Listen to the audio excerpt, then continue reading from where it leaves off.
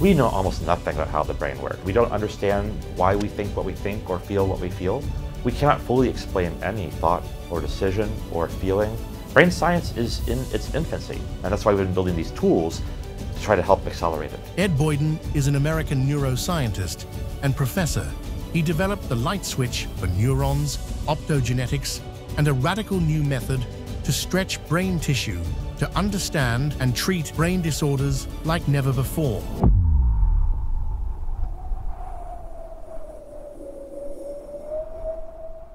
Today we are here with Ed Boyden, uh, who's a professor at the MIT. Could you tell us in the two very simple sentences what are you doing at MIT? Uh, well, I direct a group that works on ways to understand the brain with the hopes of repairing it. Over the last two decades, we built technology to control the brain. We can use light to activate or shut down parts of the brain, and also to map the brain. We can take brain specimens and basically fill them with baby diaper material, swellable material, mm-hmm. and make the brain grow. So by mapping the brain with this expansion method, and by controlling the brain with light, uh, we are uh, not only gaining insights of the brain, but hopefully heading towards computer software simulations of the brain. Could you see an actual thought or feeling as it occurs? And uh, how close are we to uh, using it in human trials, or is at this stage just in the lab? So there are several human trials, mm-hmm. uh, all focused currently on blindness. Millions of people have lost the light sensors in their eyes.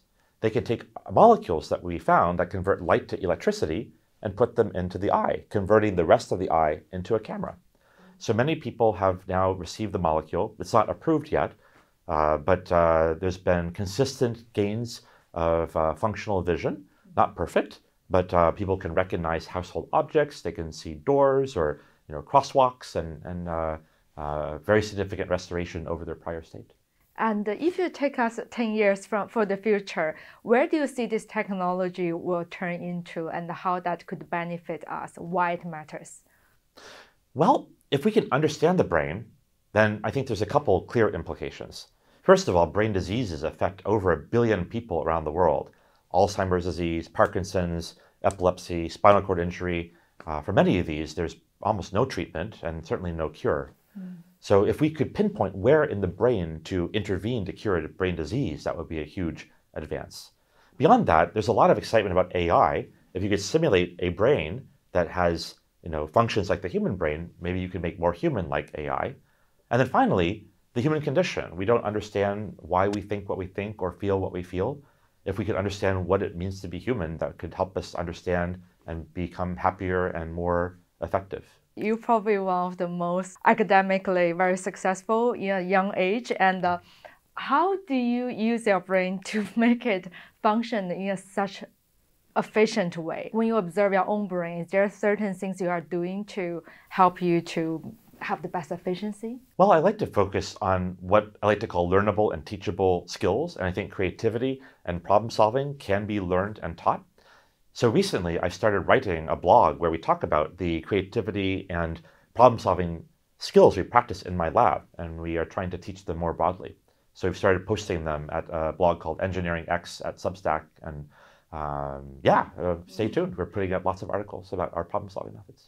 And when you observe so much brain uh, activities and how different brain function, did you see a difference from a very academic brain, like for the people who are very strong in logics, and compare with the people who are very strong in creativity or abstract thinking? And can a person changing their brain by thought or by training it in certain ways? I'm much more on the inventing side than on studying those aspects of the brain, but certainly lots of other scientists are using tools invented by others or by us and, and, are asking questions about the brain. Certainly, different brain functions uh, do involve different brain circuits and and uh, yeah, things that are much more about memory or about decisions might be quite different in their brain circuitry than things that are more intuitive or subconscious. And uh, if you could explain to us how our brain function and what are the things people might not understand about our brain, what it would be? We know almost nothing about how the brain works. Okay. So yeah, I, I, think the answer what we don't know about the brain is is almost everything. We cannot fully explain any thought or decision or feeling, and we can't cure any brain disease. So brain science is in its infancy, and that's why we've been building these tools to try to help accelerate it. What are the current technology available in the market to help us um, better our brain functions? Well, it's very early days. I mean, there are uh, pharmacology, like drugs that are, are used to uh, you know, treat different brain conditions, and some of them can also potentially boost certain functions. Um, but the device arena, you know, lots of people are trying to build brain stimulation devices. Those are all very early.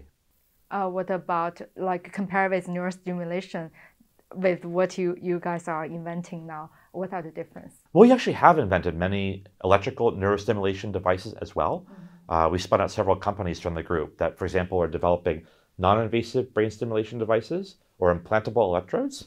But the optogenetic method that I described uh, is very precise because light can be aimed very precisely. And uh, if you take us a hundred years in the future, where do you see humans' technology in neuroscience will be like? Well, it's very hard to see beyond the end of a science. Mm-hmm. Like if you look at physics before quantum mechanics, nobody could imagine microchips or lasers. You know, there's even the science fiction writers could not imagine such things.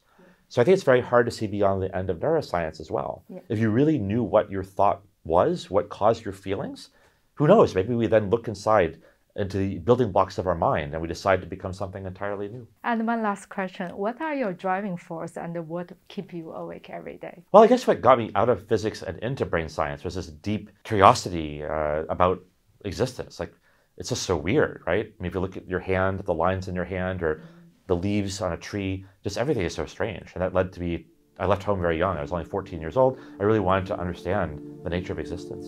Thank you, Ed, for your time. Thank you so much.